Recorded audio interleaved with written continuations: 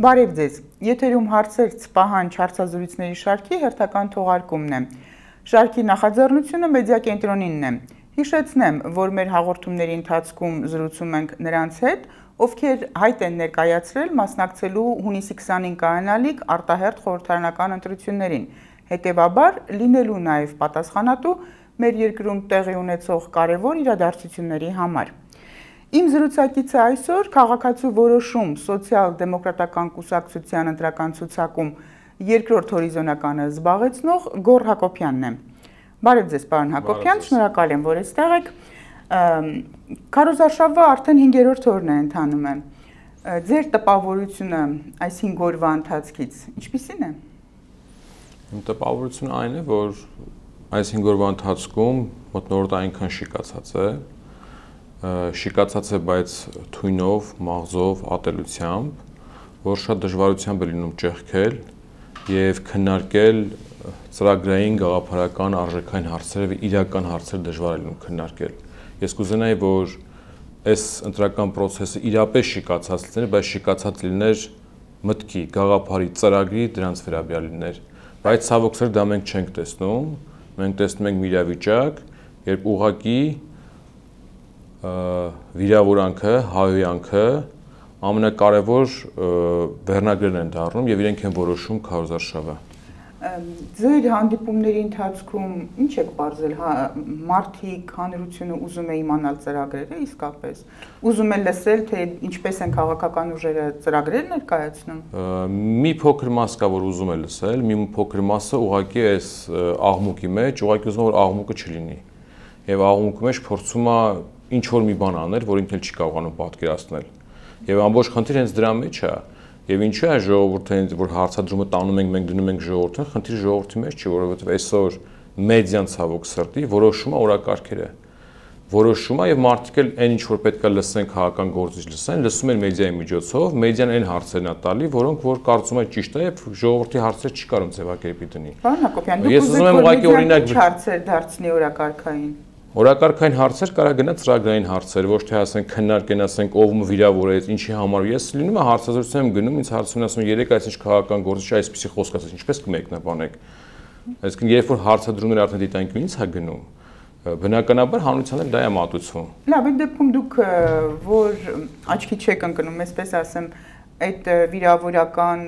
արտահայտություններով, որ չկա այս կարգի ձեր նշած այս ամեն ինչի մեջ, ինչպես եք ճեղքում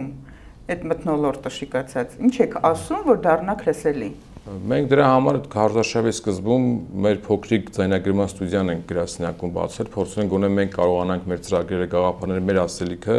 ինքներս արտադրել եւ մեր էջերով սոցիալական ցանցով թողարկել, որպեսզի հնարավոր լինի մեր ընտրողներին կամ այն մարդիկ, որոնք ուզենան այլ ընտրանք լսել, իրենց ինչ որ մի ձև լսելի լինել։ Ասեմ ձեզ 2018 թվականի ընտրությունները եւ այս այս ընտրությունները տարբերվում են։ 2018 թվականին դաշտ ավելի բաց էր եւ հնարավոր էր լինում ավելի հանրության հետ ավելի շատ խոսել, այսինքն հնարավորություն կա եւ հարցերը շատ բազմազան էին։ Այսօր դա սահմանափակվել է։ Ինչի պատճառով։ Ես ասում եմ դա պատերազմից հետո ստեղծված վիճակն է։ Նախ ասենք մեկ մի հատ օրակարգ կա, դա անվտանգության օրակարգն է, որ բոլոր հարցերը փակում է, այսինքն մենք չենք կարող քննարկենք։ Երկրորդ ամեն պահի տեղ ունեցող գործընթացները, այսինքն այդ ճգնաժամը քաղաքական ճգնաժամը որ կա, մարդկանց հոգեկան վիճակը բերում է նրան, որ ուղակի լարված է մտնորդը եւ դրան զուգընթաց քաղաքական են հիմնական հիմնական չեմ ասում այն ուժերը որոնք այսօր կարծես բևեր են ձեւավորի այդ կռվում են եւ բոլորին մտցնում են այդ երկբևեր process-ի մեջ իրենք դիապետելով հսկայական մեդիա ռեսուրս կարողանում են դաշտում թելադրել խաղի կանոնները Եվ այո, այստեղ խնդիր կա ճեղքելու ու դա միայն մեր չի, որ մենք չենք։ Ինչպես, ուզում եմ իմանալ ուղղակի չեն կորում արդյոք, ասենք, քոն եւ այս կուսակցության նման մյուս ուժերը այս ձեր նշած աղմուկի Ոչ միայն մենք, այսօր նույնիսկ ասենք պատիվ ունեմ դաշինքը խնդիր ունի ճեղքելու դա, այսինքն դուք պետք է դա Պատիվ ունեմներ ունի։ Այո, բայց եթե ասենք դուք նայեք Սերժ Սարգսյանը երեկվա ասածը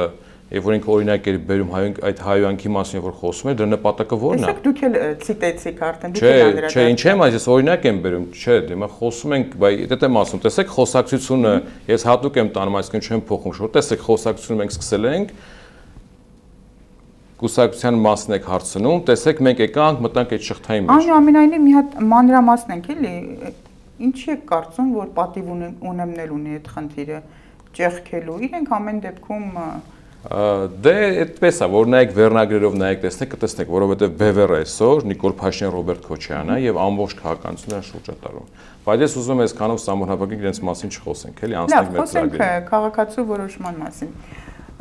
ձեր ծրագրի ամենաառանցքային կետը, հա, դուք ասում եք բոլորը խոսում են անվտանգության խնդիրների մասին, անվտանգության խնդիրները ձեզ համար այսօր ամենակարևորը չէ։ Իհարկե ամենակարևորն է։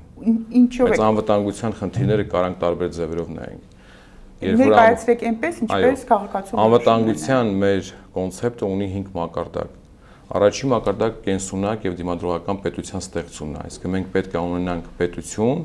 որոնի ճկուն կառավարման համակարգ, արագ արձագանքումա, որտեղ կա սոցիալական համերաշխություն եւ արդարություն, որտեղ կա ընդհանուր արդարադատության արդարություն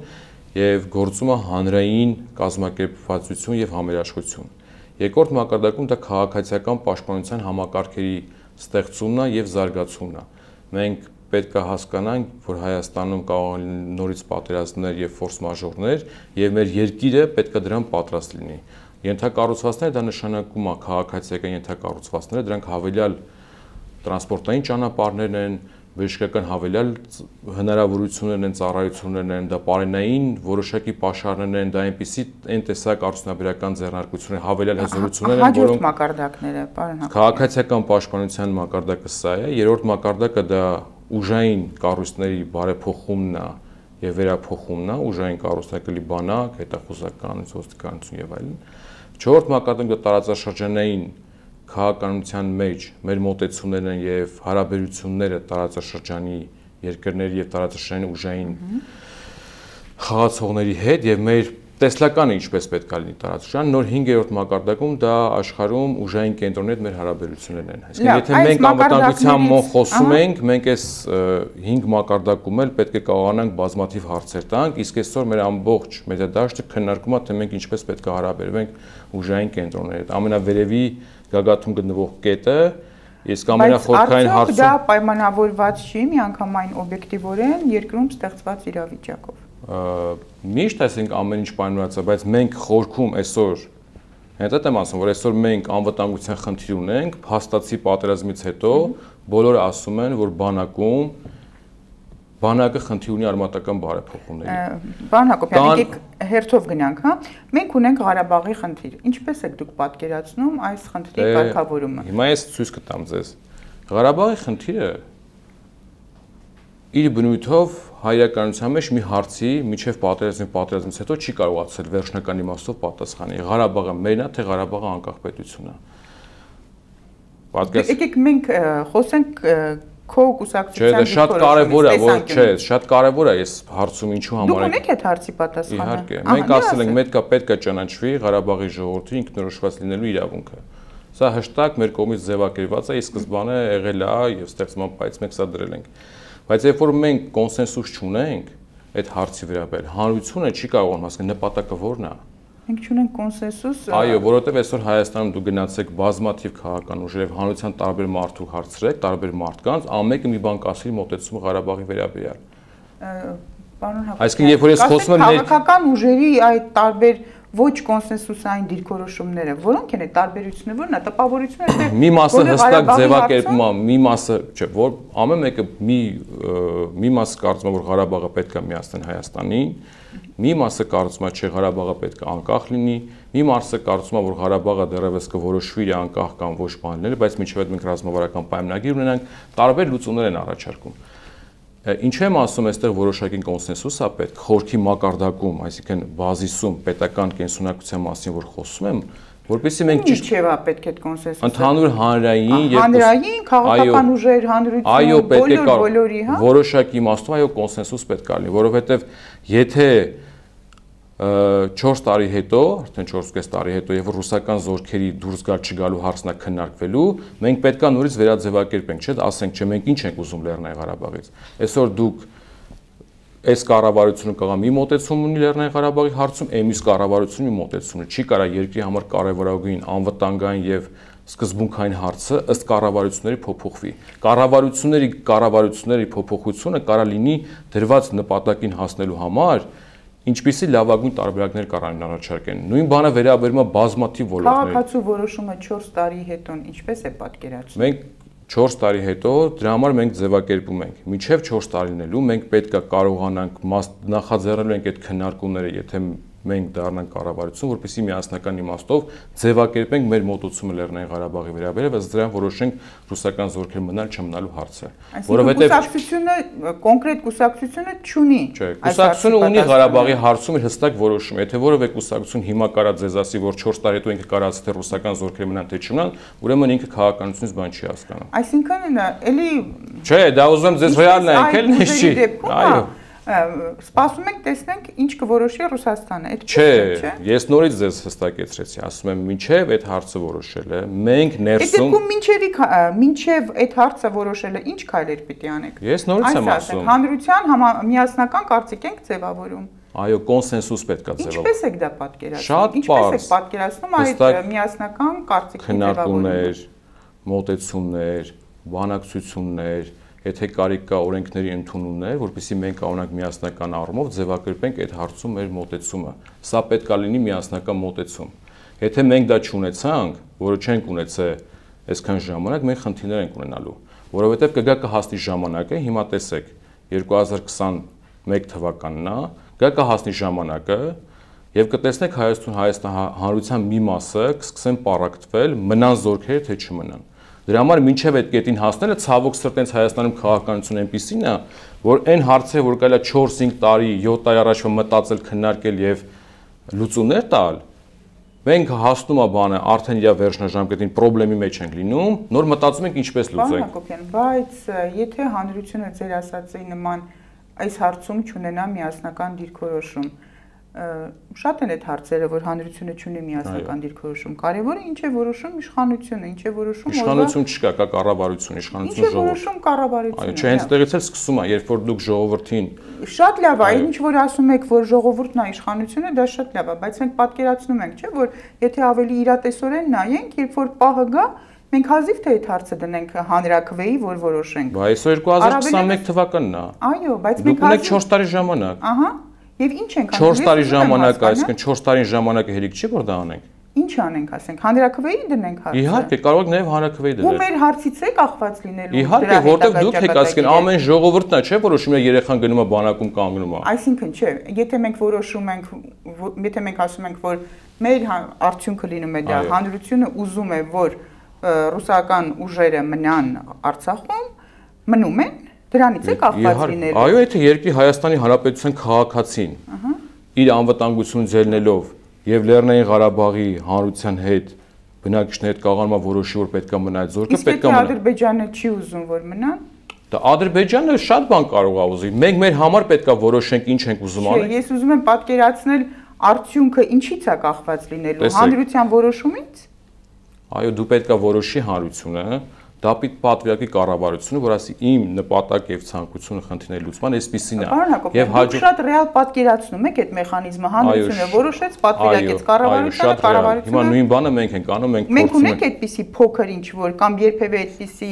օրինակ չենք ունեցել։ Բա բնականաբար դա մենք պետք է կանոնակ ստեղծել, չենք ստեղծել, դրա համար 30 տարի հետո հայտնվել ենք այս պատմության մեջ։ Այսօր դուք ո՞նց եք ընտրություն կարես, ո՞նց է հանրությունը որոշում ովքեր են գնում ազգային ժողով։ Ընտրությամբ։ Ընտրությամբ։ Իսկ կարելի է որևէ հարցի վերաբերյալ որոշում կայացնել ընտրությամբ։ Որոշում կարելի է կայացնել։ Դուք ո՞նց եք որոշում սահմանադրությունը։ Ես ես մտածում եմ ուղղակի այդ որոշումը մինչև որ ճանապարհի որ հատվածն է մինչև ուժ ունենալու, եթե իսկապես մենք կարողանանք կազմակերպությունը որոշ տարբեր ձևեր կա։ Ես ասում եմ, եթե մենք մեր հանրության մեջ չկարողանանք իրապես քննարկումներ սկսել եւ կարծել, որ ինչ որ կառավարությանն էլ վերագրենք որ իշխանությունը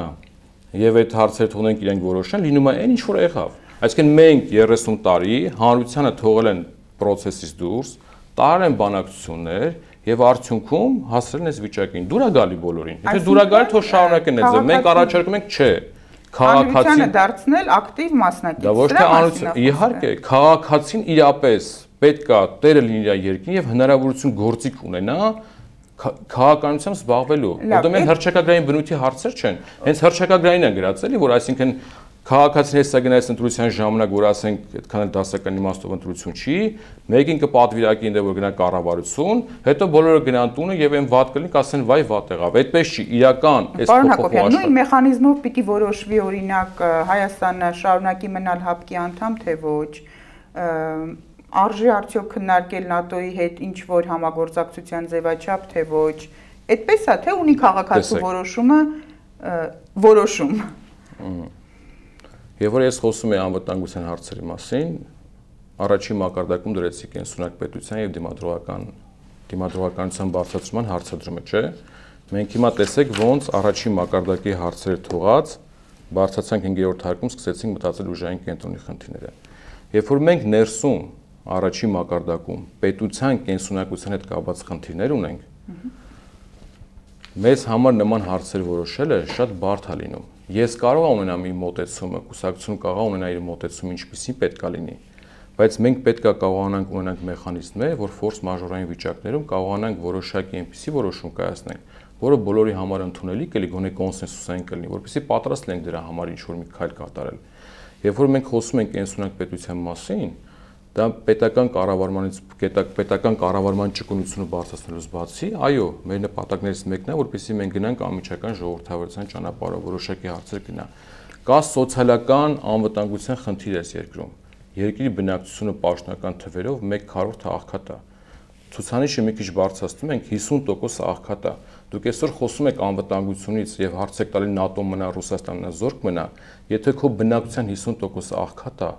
տեսեք շատ-շատ կարևոր է, մարդ իր տարական կենսապահովման հարցերը չի կարող լուծի։ Այդ մարդ էս հողի վրան ապրելու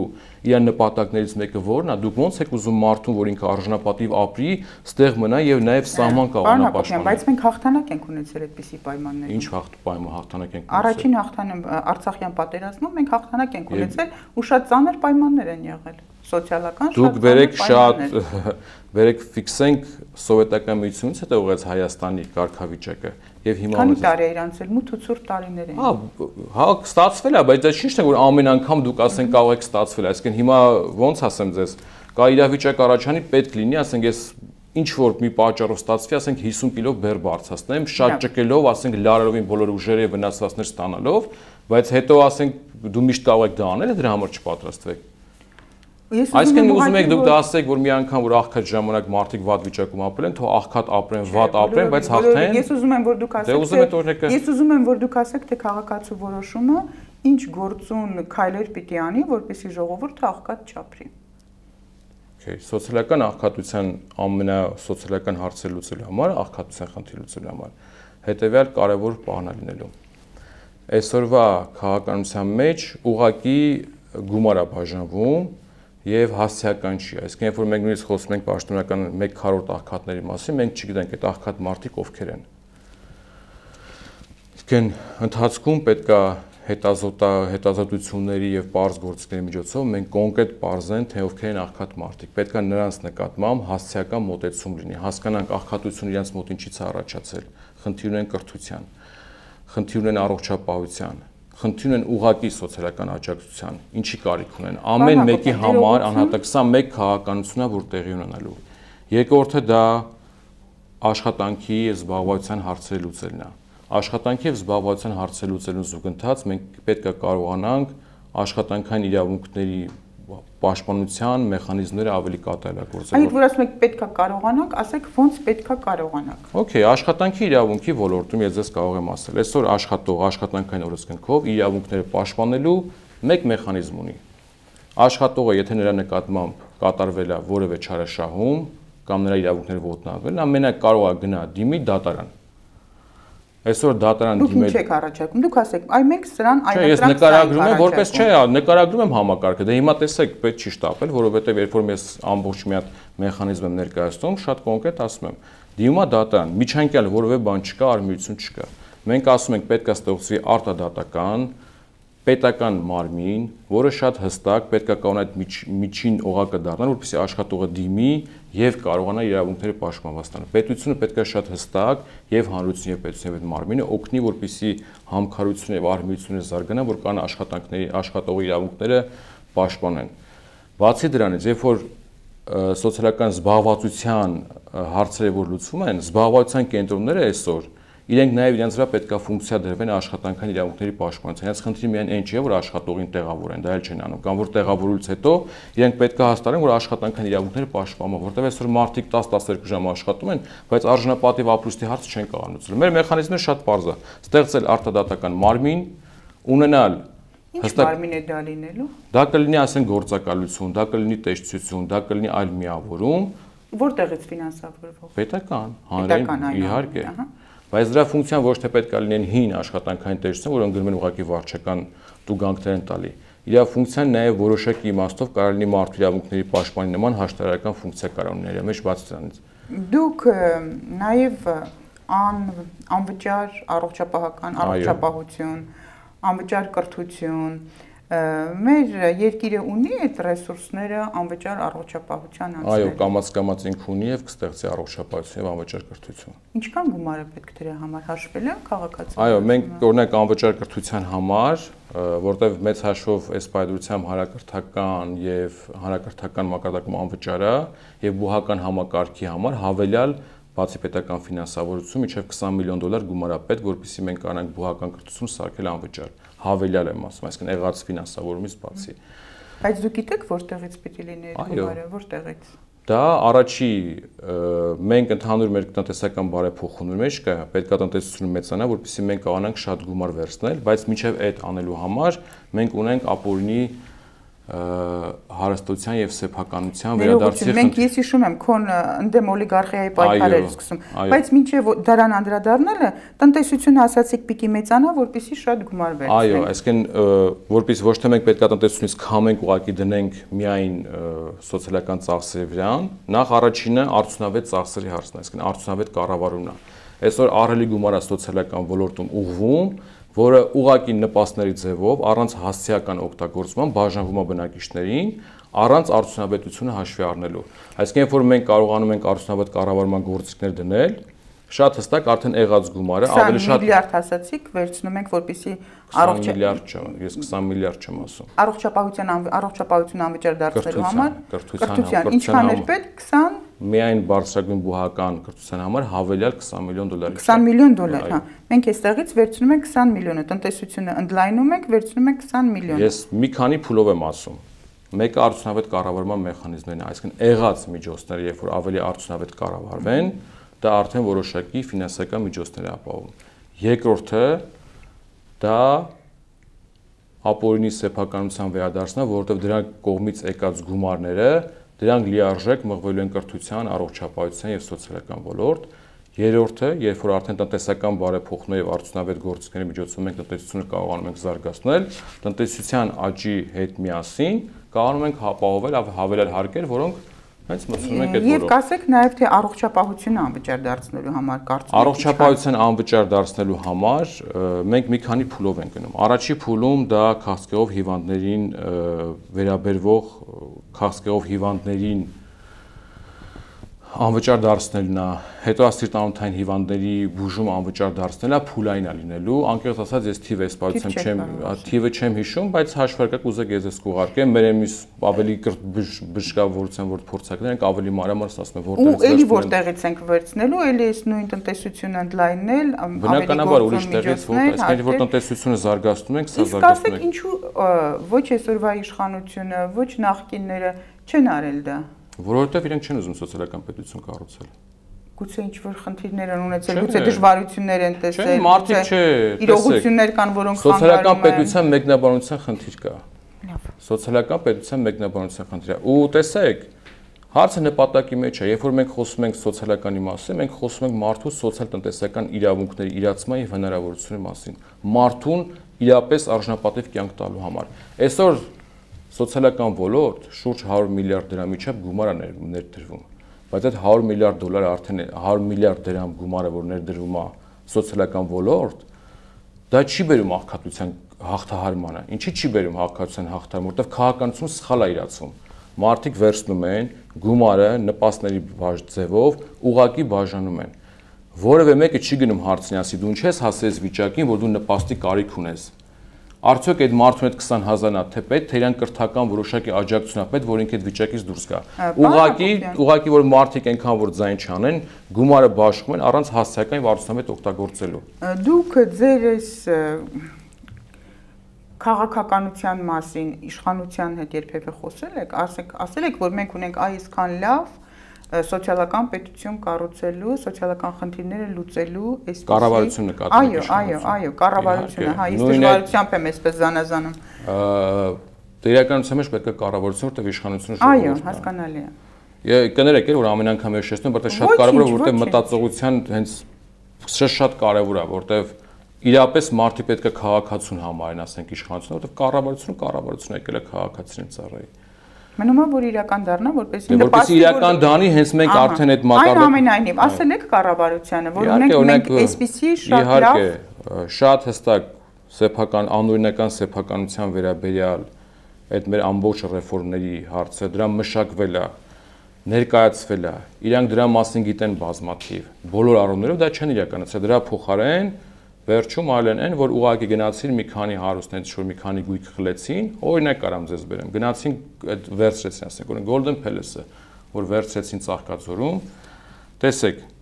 այդ ընկերությանը արդեն պահելու համար իր ոչ սխալ արդեն տարեկան 70 միլիոն դրամ պահպանման ծախսեր է տալի բյուջեն եւ զրկվում է հնարավոր ասենք 1-ից մինչեւ 2 միլիարդ դրամ տարեկան օգուտից, որ այդ ընկերությունը կարող ստանալ եւ տար բյուջեին։ Իսկ մենք գնացել ենք առաջայցք թեմա գույք ենք վերցրել բերել ենք տվել ենք պետությանը, բայց այդ չի աշխատում եւ պետությունն 70 միլիոն դրամ անիմաստ այդ գույքը պահպանելու համար ծախս անում։ Կոնկրետ դրավյոն հստակ ներկայացվել է։ Ամբողջ քաղաքական մի քանի բլոկներով է. Գնացել։ Քաղաքական ռեֆորմների խնդիրն է դրվել։ Մանրամասն ներկայացվել է. Համանadrություն, ընտրական, կուսակցական այս հանրային համերաշխություն ստեղծելու համար սոցիալականն է հիմա ես ուզում եմ հասկանալ սոցիալականն է սոցիալական այո որովհետև սոցիալական քաղաքականության առումով հենց պրոգրեսիվ հարկման եւ համամասնական հարկման ժամանակ հստակ ասել ենք եթե մենք սոցիալական պետություն ենք մենք չեկանք դրան բայց եւ որ տնտեսության մեջ հանրային բարիքի վերաբաշխման մասին դեռևս չեկանք չխոսեցինք հստակ ասել ենք հարկային համակարգ այնպեսին պետքա լինի որ սոցիալական արդարություն ստեղծվի Դրա մասին մեր առաջարկները ներկայացրել ենք սոցիալական քաղաքականության վրա բազմաթիվ հարցեր ներկայացրել ենք։ Ու գիտեք մեզ ինչ են պատասխանել եւ ձեր հարց ասեմ։ Շատ շատ կարեւոր է որպեսզի հասկանանք, որտեղ հեսա հետ մենք գնանք մեր խոսակցության առաջի կետին եւ որ ասում եք ինչպես է կոնսենսուսը լինում։ Կրթական համակարգի բարեփոխումների մասին, երբ որ մի հատ քննարկում կար ազգային ժողովում եւ որ խոսում ենք, ասում եք կրթության եւ գիտության հարցերը չի կարա մենակ մի կառավարությունը որոշի ինչպես է պատկերացնում։ Կրթությունը դա երկարաժամկետ գործընթաց է մի սերունդի կրթությունը տևում է մինչև 15 տարի։ Կրթական համակարգը գոնե մինիմում 10-ից 20 տարվա երկարաժամ զարգացման ռազմավարություն պետք է ունենա։ Չի կարա մի կառավարություն գա, ըստ իր պատկերացումների սկսի կրթական համակարգը բարեփոխել, հաջորդ 4 տարի հետո կամ 5 տարի հետո գա մի այլ կառավարություն, ինքը իր հերթին պատկերացումներով բարեփոխի եւ այսպես ռազմավարություն է լինում։ Այո, եւ այդ ռազմավարությունը ինչպես պետք է լինի, որ ես որպես հավակնող քաղաքական ուժ գամ դառնամ կառավարություն, չփոխեմ իր նշած մարտավարությունը։ Դրա համար կան ոլորտներ, դա եւ կրթությունն է, եւ առողջապահությունն է, եւ սոցիալական ամենակարևորը անվտանգության եւ արտաքին քաղաքացիությունը, որոնք որոշակի պետական երկարաժամկետ քաղաքականություններ պետք է լինեն, կոնսենսուսներ պետք է լինեն, որպեսզի մարդիկ քննարկեն դա ամենալավագույնը իրացնելու ճանապարհը։ Եվ այստեղ պատասխանը ներողություն, ներողություն, ես հիմա ուզում եմ անդրադառնալ կապին, որի մասին խոսեց Սուրեն Սահակյանը, ենթադրում եմ, որ դուք եք դրա, հետ համաձայն, օրերս նա ասել էր, որ մի իշխանությունը ասում էր լավ չեք ապրի, քանի դեռ Ղարաբաղի հարց կա։ Մի ուրիշ իշխանություն ասում էր լավ չեք ապրի, որովհետև Ղարաբաղի հարց կա։ Մենք ասում ենք լավ կապրենք եւ կլուծենք Ղարաբաղի հարցը։ Ես մոտավորապես իրեն եմ ցիտում։ Իսկապես մեր սոցիալական վիճակից է կախված Ղարաբաղի հարցը։ Եթե սոցիալական լավ պետություն լինենք, ինչպես դուք եք ներկայացնում, մենք կարողանանք դրանով դրանից հետո Ձեր կարծիքով եթե Ղարաբաղում 300-400 հազար մարդ ապրեր 30 տարվա ընթացքում կամ Սյունիքում կրկնակի անգամ մարդ ապրեր, զուտ հարց եմ տալի։ Ձեր կարծիքով պատերազմը կսկսվեր, արդյոք պատերազմը կսկսվեր եւ արդյոք սկսելուց արդյունքները sense։ Ձեր հարցի պատասխանը շատ པարզ է։ Եթե 94 թվականից մինչև 2020 թվական 26 տարվա ընթացքում Ղարաբաղում ապրեր կես միլիոն մարդ։ Ինչ է կարծում, ինչպեսին կլներ պատկերը։ Այսինքն ես նորից ուզում եմ դուք այդ այս հարցին պատասխանեք։ Ղարաբաղյան հարցի լուծումը կախված է Ես ձեզ հարց եմ տալի։ Եթե կես միլիոն մարդ ապրի, որովհետեւ կես միլիոն մարդ ապրի Ղարաբաղում, ինչ էր պետք։ Դուք ասեք, պարոն Հակոբյան։ Կես միլիոն մարդ ապրելու համար Ղարաբաղում պետք է արժանապատիվ կյանքի պայմաններ ստեղծվել լինեն եւ ոչ միայն Ղարաբաղում, այլ նաեւ Հայաստանի Հանրապետությունում։ Մարդիկ ինչ են արտակախտում այս երկրից։ Եվ որ սոցիալական արժանապատիվ կյանքի պայմանները բավարար չի, մարդկային արժանապատվությունը վիրավորված է, մարդը երկրի ներսում իրեն անվտանգ չի զգացել եւ ապահովված չի զգացել, այդ մարդը գնում է։ Դրա համար մենք կարող ենք երկար բարակ խոսել հայրենիքից, մեր Սուրբ Արադլերից եւ այլ եւ այլն, դու դրանով չեք կարող այս հողի վրան մարդ պահել։ Անցանք այս Մարդը այդ սոցիալական վիճակը ամենակարևորն է։ պարոն Հակոբյան։ Ուզում եմ այնուամենայնիվ ասեք, թե քաղաքացու որոշումը ինչ դիրքորոշում ունի։ Հապկի հետ մենք պետք է ճանապարհ շարունակենք, թե պետք է դուրս գանք հապկից։ Մենք ի սկզբանե մենք ի սկզբանե եւ միջև էս պատերազմ պատերազմից ասել ենք, ասել ենք միամտություննակարծել, թե հապկը դա ռազմավարական համագործակցություն է եւ ինչ-որ sense իրավիճակներում հապկը գալու է զորք մցնի ստեղ։ Մենք ասել ենք հապկը դա ներքին մի պլատֆորմա, որտեղ մենք կարողանում ենք ավելի լավ գներով եւ էժան գներով մենք զենք ստանալ զենք ստանալ եւ այլ տեսակ համագործակցություն բայց մեր խնդիրը այսինքն ռազմավարական իմաստով ասենք մենք երբեք չենք մտածել ասենք որ Բելարուսիայից կամ Ղազախստանից զինվորներ են գալու եւ Հայաստանին պաշտպանեն առավել եւս երբ որ Հայաստանի անվտանգության համակարգը երբ որ կառուցվել է արդեն այդ մակարդակում բարձրացեցինք խոսել Հայաստանի համար անվտանգության համակարգը ինչին է պետք է որ կառուցի որտեղ ինքը ունեցել է Ղարաբաղի կոնֆլիկտը Արցախի հիմնախնդիրն է ունեցել բայց նախքին բոլոր կառավարությունները ներկայացրին, որ անվտանգային համակարգ կառուցել են, չեն դիտարկել, որ Արցախի նկատմամբ ոտնձգություն դա Հայաստանի Հանրապետության նկատմամբ ուղակի ոտնձգություն է։ Այսինքն մենք մի նպատակի համար, որտեղ որ իրական անվտանգության խնդիրն է, կառուցել ենք համակարգ, որը բայց չի երաշխավոր այդ կոնֆլիկտի համար կառաջանա։ Իսկ հապկը դա չի երաշխավոր։ Դրա համար ասենք հապկի մենք տենց դիտարկենք որպես ռազմավարական զսպող կամ սամը, չէ, կարամ կարաս մնաս հապկի մեջ, կարաս չմնաս։ Մեզ համար ասում ինքը էժան զենք ստան, հա, որովհետև ինքը այն ինչի համար որ դուք հրճակում եք, ֆունկցիան չի կատարում։ Բայց այնուամենայնիվ, եթե գաք եթե դառնաք կառավարություն, չասեմ գաք իշխանության։ Եթե դառնաք կառավարություն, չունեք, ասենք չկա անհրաժեշտություն։ Դե ասում եմ անհրաժեշտություն խնդրի, որտեղ ինքը քո ռազմավարական խնդիր չեք դարձնել։ Չէ, համագործ բան չի ասում, դու շատ կարևոր ասենք, շատ կարևոր սպառազինության հարթակ է, բայց պետք չի մի բանից ակնկալել մի բան, որ այդ ֆունկցիան չի կարող։ Բայց շարունակեք համագործակցել։ Տեսնենք, այսինքն գան կհասկանանք, եթե սպառազինության հետ կապված հարցեր կային կարող ենք ստանալ, այո, բայց մեր անվտանգությունը մենք չենք պայմանավորում հապկայի մեջ դնելու։ Ինչու եք պայմանավորում մեր անվտանգությունը։ Սա մեր հավասարակշռված քաղաքականության եւ փորձեր, որպեսի տարածաշրջանում եւ ուժային կանը որոշակի ուժային բալանսը վերականգնենք, որտեղ առանց ուժային բալանսի վերականգնման դժվար լինելու որևէ տեսակ անվտանգային միջավայր ձևավորել։ Որ դեպքում պիտի որ դեպքում կասեք, որ ուժային բալանսը վերականգնվում է։ Այն վիճակում, երբ որ բոլորս կզգանք, որ իրավիճակը կայուն է։ Ուժային բալանսը Այդ իրավիճակը կայուն ուզում եմ հասկանալ, որն է դա։ Սա անվտանգ մարդիկ կզգան մի իրավիճակ, երբ որ ֆիզիկական անվտանգության երկրի անվտանգության նկատմամբ ոտնձգություններ չեն կատարվում։ Հետո ուժային բալանսը սա մի իրավիճակ։ Ո՞ւմ է լինելու այդ բալանսը։ Դա միջազգային իմաստով ուժային բալանս։ երկրների ուժային կենտրոնները այն ժամանակ, երբ որ մենք կլինենք կառավարության, ուժային կենտրոնները ովքեր կլինեն, որոնք այս տարածաշրջանում խաղում են, իրենց միջև եւ ընդհանուր իրար միջև ուժային բալանս ձևավորել։ Հազիվ թե փոխվեն ուժային կենտրոնները դե միջև ձեր կառավարություն դառնալը Ռուսաստան, Թուրքիա, Արևմուտք, Արևմուտք, ԱՄՆ, Չինաստան, Հնդկաստան, դրանք երկրներ են Պարսկաստան, որոնց հետ պետք է հնարավոր լինի ուժային բալանս ստեղծել, որտեղ ուժային բալանսի խախտման արդյունքում է նաև այս պատերազմը ստեղծել առաջացել եւ հիմա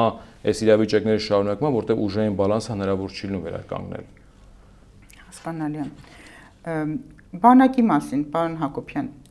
ինչ պետք է անել, որ เป զի բանակը ուժեղանա պատերազմից հետո ստեղծված այս ծանր վիճակից կարողանա դուրս գալ կոնկրետ քայլեր ծրագրային կոնկրետ քայլեր բանակը ամենակարևոր խնդիրը մեզ համար դա սպայակազմի խնդիրն է եւ սպայակազմին կրթելու եւ զարգացնելու եւ հմտություն առնելու համար պետք է վերանել այդ ամբողջ կրթական process-ը ակադեմիայից, ուսումնական վարժություններից բոլոր տեսակ, որ մենք ունենք, որտեղ մենք ունենք վարժաններ, քոլեջներ եւ նաեւ վերջում ակադեմիան եւ նաեւ ավելի բարձր ակադեմիայով, պետք է ամբողջ կրթական համակարգը փոփոխվի։ Եվ մարտավարական մակարդակում եւ ֆիզիկական եւ այլն։ Սա սպայական երկարաժամկետ կառուցողը որ ստեղծենք։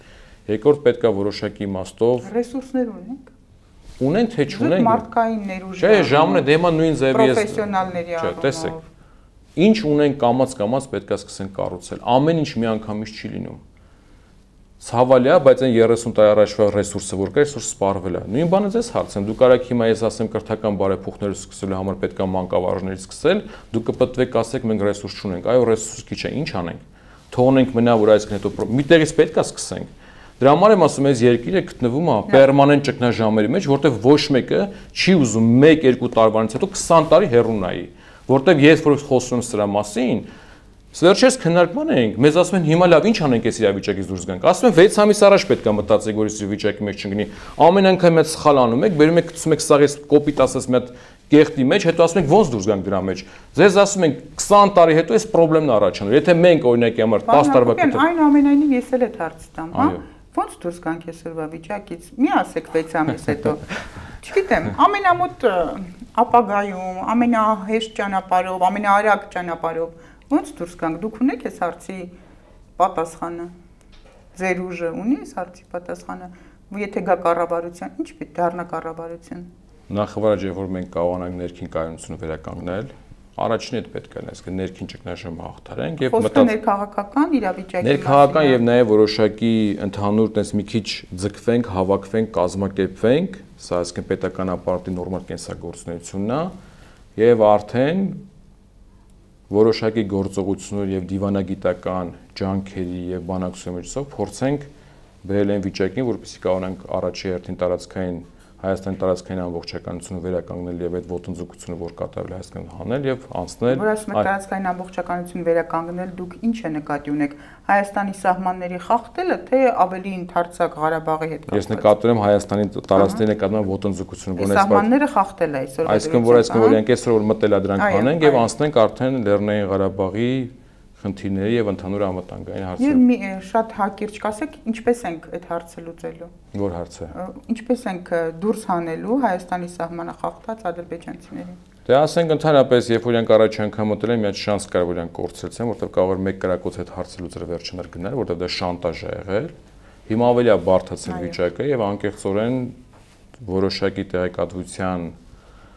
դիաբետելով հանդերձ եւ նաեւ որոշակի տեղեկատվություն իմանալով կարիք ունելով նաեւ որոշակի տեղեկատվության, կարիք կա դրանք վերլուծելու, հասկանալու, բանակցությունների, հասկանալու արդեն ինչա փոխվել դաշտը, որտեղ առաջի պայն որոնք մտել էին ռիվայլ նպատակով էին մտել եւ շատ հեշտ կարել լուծել, հիմա ավելի խորացրել են դաշտում ներգրավում են արդեն այլ ուժային խաղացողների, այսօր արդեն Ֆրանսիան, Թուրքիայի հետ բանակցումը Հայաստանի եւ Լեռնային Ղարաբաղի համար, այսինքն խաղացողները շատանում են, իրավիճակը ամեն պահի փոխվում է, ես որ կարամ ասեմ մենք ինչ չենք անելու կամ ինչ չէ։ Իսկ մենք ամեն ինչ անելու ենք, որ իրանք ընդհանրապես այդ տարածքներից դուրս գան եւ դա է էլի ինչ որ հա, ասեք ու գուցե մի քիչ Չէ, բայց դա տեսեք, ես եմ, ես նորից եմ ձեզ ուզում։ Որ դուք հիմա ասեք, թե ինչ եք անելու, դա գուցե հուշում լինի Ես հատուկ սկսեցի էլ Ես հատուկ ասեցի։ Կառավարությանը հույսներդ կտրեք։ Ահա։ Այսինքն այս կառավարությունը, որ ինչ որ դե բան կարանի, չէ, իրենք ասեցի որոշակի հատուկ գործողությունների հատուկ գործողություն։ Չեք ուզում այդ հատուկ գործողությունների մասին։ Չէ, հենց է, որ որ մարդիկ ում են տենց բաներ են խոսում եւ այլն, ասենք սխալ է, որոշակի հատուկ գործողությունները, որոնք կարող են համակցվել դիվանագիտական եւ բանակցական ջանքերի հետ, որը զուգընթաց պետք է տեղ ունենա հարաբերությունները ուժային բալանսի համար, կարողանանք իրավիճակը շտկել ներքին կայունության եւ միասնության միջոցով։ Սա բանաձև է։ Մնացած մանրամասն հարցերից ես կարող մի բան ասեմ, մի ամիս հետո իրավիճակը լրիվ այլ կլինի, որովհետև քանի որ չկա ոչ մեկը չի պատկերացնում ինչպես է կառուցվում Հայաստանի անվտանգային համակարգը ամեն մի հայտարարությունը իր հերթին ավելացնում է խաղացողներին բալանսը եւ այլ եւ այլ այնպես հարցրավետ։ Մի ամիս դուք պայմանական եք ասում, թե նկատի ունեք ընտրություններից հետո Ընտրությունից հետո շատ բարդ խնդիրներ են առաջանալու, եթե Ընտրություններից հետո իսկ շատ մեծ փոփոխություններ են լինելու մեր երկրում։ Այս ճգնաժամը շարունակվելու է։ Անկախ նրանից թե որ ուժը կգա կառավարության։ Եթե մենք կարողանանք բավարար ձայներ ապահովել, մեր պարագայում չի լինի այ որ ասում եք բավարար ձայն 2018-ի ընտրություններին, եթե չեմ սխալվում, քաղաքացու որոշումը 8000 0.7%, ես կարամ ավելի 0.7%, այո, ավելի կարճ է ակնկալում։ Մենք ակնկալում ենք այնքան ձայն, որպեսզի կարողանանք զսպող գործիք դառնալ այս երկու այլանդակ բևեռների միջև։ իսկ այս երկու տարին, որ անցավ, նպաստավոր էր ցես համար, որ เป զի այդ ձայները այդքան շատ լինեն։ Չէ, նպաստավոր չէր։ Նպաստավոր չէր, որովհետև կար իդ, որը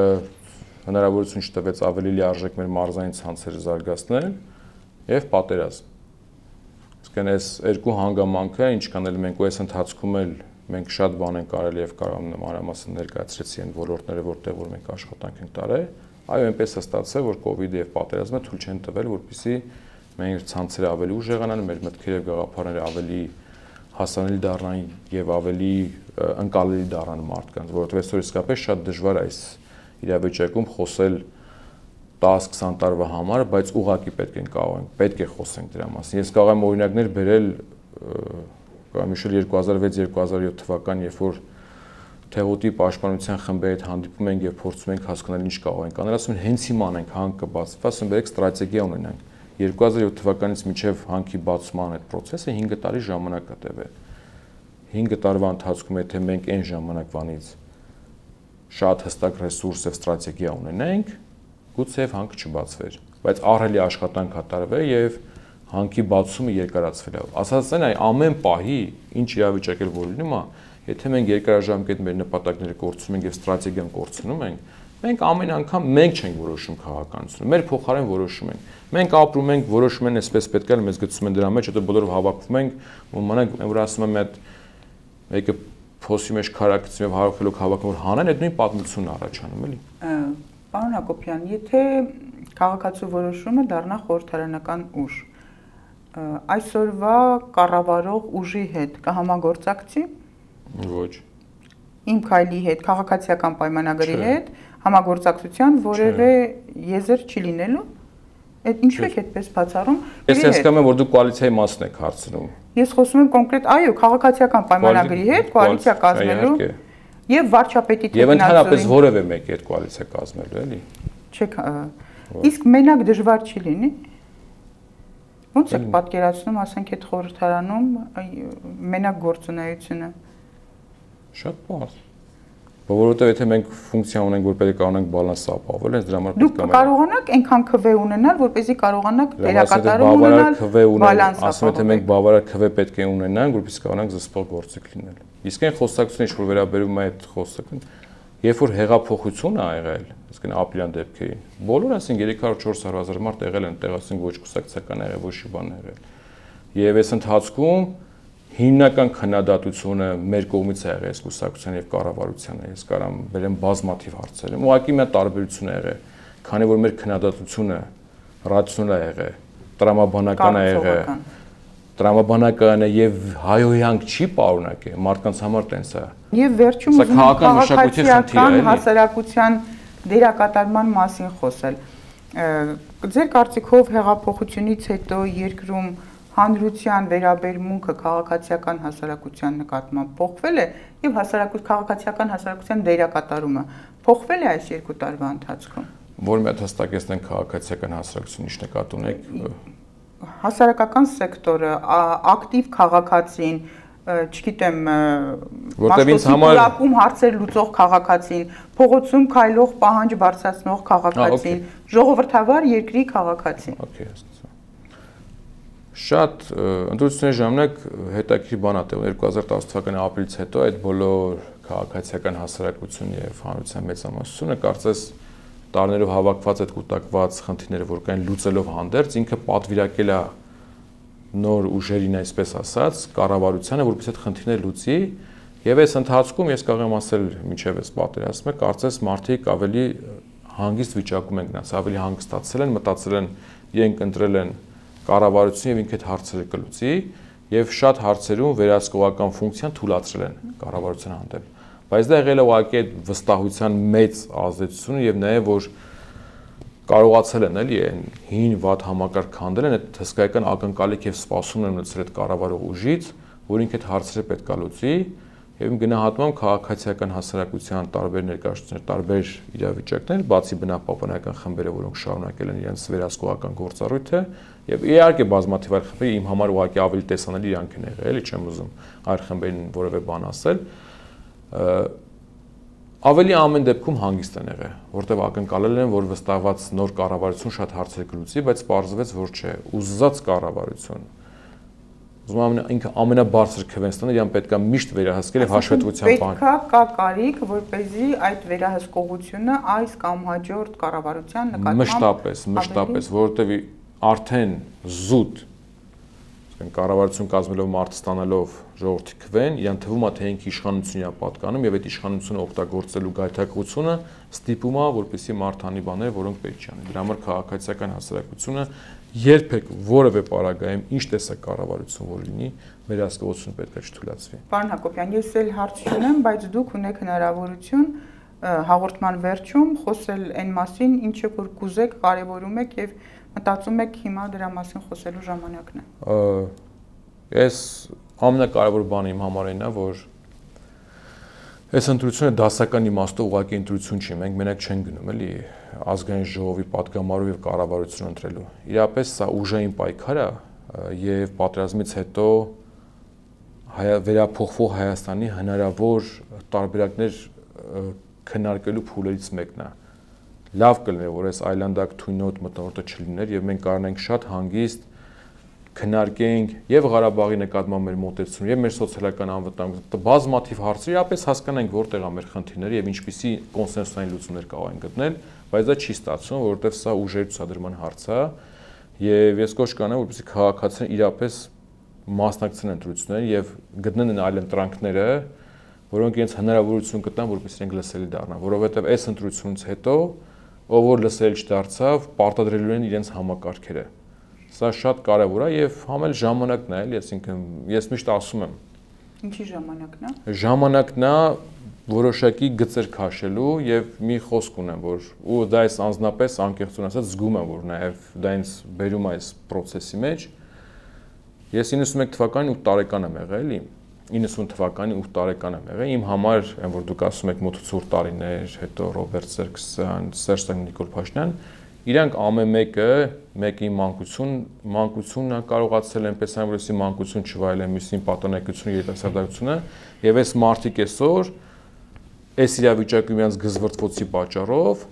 խժռել են արդեն ամեն ինչ եւ խժռում են ասենք ապագա եկածող երեխեքի մանկությունը պետքա թույլ չտալ էլի դա ամեն ինչը իմ համար է դա սահմանագիծը լավ շնորհակալ եմ պարոն Հակոբյան Հիշեցնեմ, որ իմ զրուցակիցը քաղաքացու որոշում սոցիալ-դեմոկրատական կուսակցության ընտրական ցուցակի երկրորդ անունը Գոր Հակոբյանն էր։ Հանդիպելու ենք։ Thank you